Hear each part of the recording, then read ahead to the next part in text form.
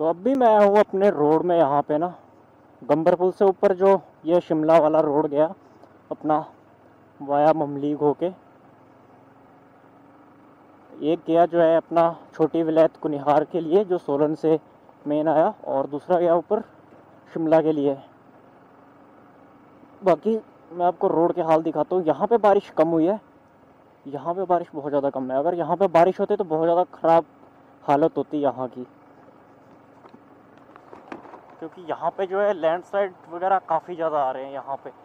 ये चीज़ आप देख सकते हो इधर, सामने आपको दिखाई देगी उधर, दिखाई दे रहा होगा आप लोगों को। लास्ट टाइम यहाँ पे काफ़ी बड़ा लैंडस्लाइड आया था, आप लोग ये देख सकते हो इधर, ऊपर।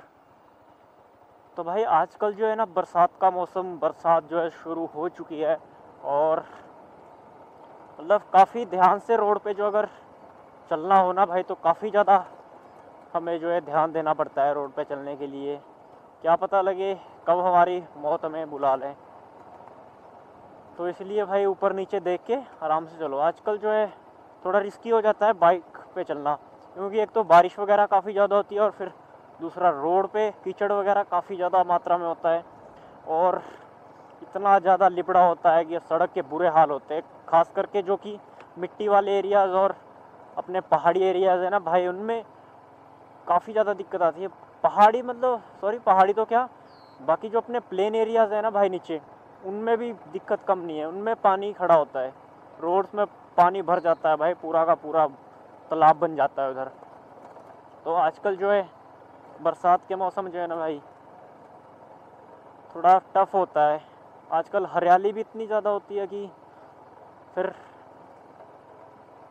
मन नहीं करता वहाँ बाहर ऐसे चलने के लिए। हमारे तो ऐसा कि जैसे खेतों का काम होता है तो टमाटर का जो एंड होता है आजकल तो भाई टमाटर तोड़ने के लिए मन नहीं करता। इतनी ज़्यादा घास हो जाती है उसके अंदर और फिर पानी भरा होता है टमाटर के बीच में मतलब जो टमाटर के पौधे होते हैं। और ये रहा यहाँ पे जो एक किलोमीटर यहाँ पे गंबर पुल से देवथल पुल जो मंदिर है यहाँ पे। काफ़ी ज़्यादा फ़ेमस हो गया है ये मंदिर, इधर आप लोग देख सकते हो ये मंदिर। बिल्कुल नदी के किनारे पे यहाँ पे। ये मंदिर इधर देवथल श्री ब्रिजेश्वर महादेव का मंदिर है। नदी में जो है, पानी अभी भी जो है, इतना साफ़ नहीं है, क्योंकि ये आती है नदी जो अपनी, एक तो आती है सोलन साइड की, ऊपर जो हमारे गाँव के नीचे है, ये इनका मिलाप होता है। दो नदियाँ मिलती हैं ये, एक जो है शिमला के जो है तारा देवी साइड की, का पानी आता है इधर के लिए, और दूसरा आता है अपना सोलन साइड का, जो ये अपना कंडा घाट से क्रोल की पहाड़ी आई नीचे, ये वाला पानी इस साइड को आता है। और ये देखो इधर रोड के हाल। ये रोड ऐसे होते हैं ना भाई, इतने फिसलन होती है ना इसमें कि क्या बताएँ।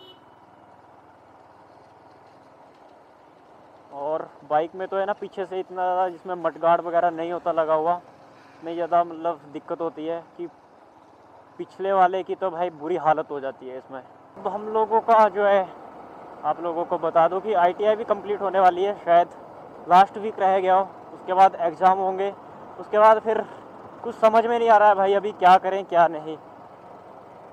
कुछ आइडियाज़ वगैरह दो ब्रो कि थोड़े हम जो है बाहर निकल सकें। मतलब बाहर निकल के थोड़ा ज़्यादा बेनिफिट होगा।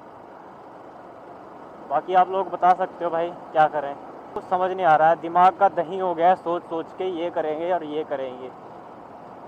क्योंकि टाइम भी कम रह गया है अब हम लोगों के पास, इतना ज़्यादा टाइम नहीं है।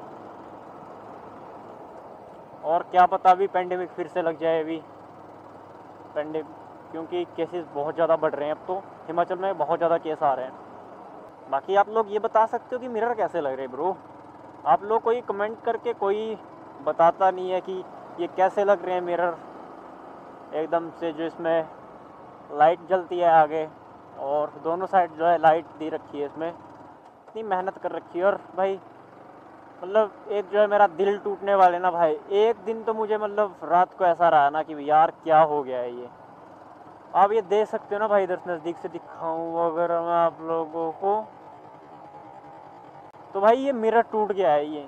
पता नहीं कैसे टूटा ऊपर वाला जाने बट मैंने जो है कवर डाल रखा था इसके ऊपर, और जैसे मैं दो तीन दिन बाद गया तो कवर हटाने के बाद फिर भी मुझे पता नहीं लगा कि ये टूट गया है। मैं बाइक स्टार्ट करने गया फिर बाद में।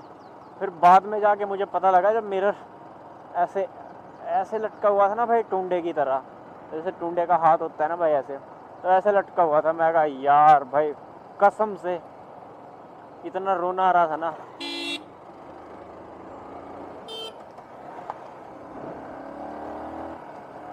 भाई क्लोल हो गई थी मेरे साथ। रवि भाई को देखते देखते ना भाई ठुक गया था मतलब। तो गंदा ही सीन हो गया था यार मोड़ पे। अपने एरिया में पहुँच के ना भाई, शांति मिलती है। तो अपने जानने वाले मिल रहे हैं सारे के सारे बंदे जो है ना इधर। कोई गाड़ी पे निकल रहा है, कोई बाइक पे निकल रहा है। और आश्चर्य की बात तो ये भाई कि अपने साथ के जो क्लासमेट थे ना, सबकी शादियाँ हुई है। और हमारा तो कोई अभी विचार भी नहीं है।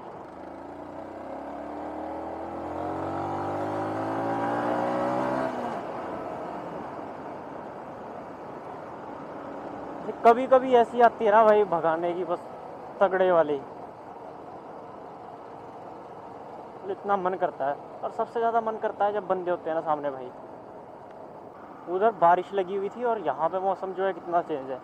यहाँ पे कोई बारिश का नामो निशान नहीं है। अभी थोड़ी हल्की हल्की जो है, अपनी बारिश का मौसम बन रहा है यहाँ पे। मैं इस बार जो है, एक हफ़्ता छोड़ के आ रहा हूँ तो ऐसा लगता है ना भाई कि मतलब कितने दिनों बाद आ रहा हूँ। मैं ज़्यादा दिन एक तो घर से बाहर नहीं रह पाता। मैं पिछले जो है ना सॉरी थर्सडे को सोच रहा था कि घर जाके आता हूँ। फिर मैंने सोचा थर्सडे को जाऊँगा, फिर सुबह फिर आना पड़ेगा। तो मैं इस चक्कर में नहीं आया। बट जब मेरा काफ़ी ज़्यादा मन कर जाता है ना, फिर तो मैं आ ही जाता हूँ भाई। फिर नहीं देखता मैं कुछ भी। बट ये कि काफ़ी मतलब काफ़ी दिनों तक जो है ना बाहर नहीं रहा जाता। कुछ होते हैं ना कि भाई रह लेते हैं, मैं नहीं रह पाता भाई। मुझे घर जाना पड़ता है। इतनी याद आ जाती है मतलब अपने एरिया की। अब बाहर रहना हो अगर जॉब के लिए तो पता नहीं कैसे रहेंगे। को इतना मतलब ऐसी बेचैनी सी हो जाती है ना अगर कुछ दिन अगर बाहर रहना पड़े। मतलब फिर तो अति हो जाती है कि मतलब अब नहीं, अब तो जाना ही, अब नहीं होगा भाई मुझसे।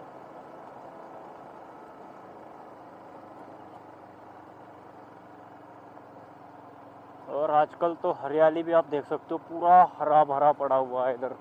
पूरा का पूरा बिल्कुल ग्रीन। जंगल जो है बिल्कुल एकदम से हरे भरे इधर। जिस साइड भी आप देख पाओगे। बाकी शाम के टाइम सबसे डरावनी जगह ये वाली है इधर। ये थोड़ी सी इधर से, उधर तक, क्योंकि हमारे जो है कब्रिस्तान भी वगैरह यहीं पे इधर हमारे तो नहीं है, गाँव वालों के इधर। हमारे तो दूसरी साइड को है। बट ये कि मतलब सबसे ज़्यादा डर एक तो जानवरों का लगता है इधर, और दूसरा फिर थोड़ा डर। डर तो मतलब जो कुछ कुछ डरते हैं तो कब्रिस्तान का लगता है। वैसे आज तक कुछ भी ऐसा नहीं हुआ है कि कब्रिस्तान की वजह से कुछ हुआ हो अगर। बाकी है कि जानवर काफ़ी बार मिले इधर। मतलब जो भी जंगल का राजा वगैरह ना, काफ़ी बार मिला है भैया वगैरह को तो।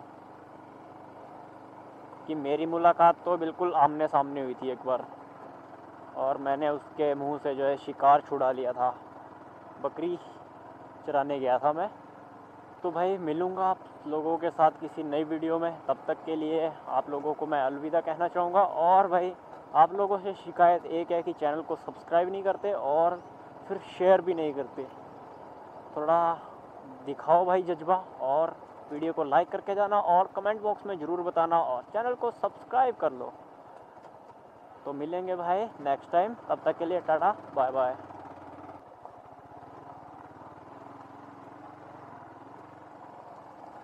सलाम वालेकुम दाऊ जी, सलाम वालेकुम भाभी जी।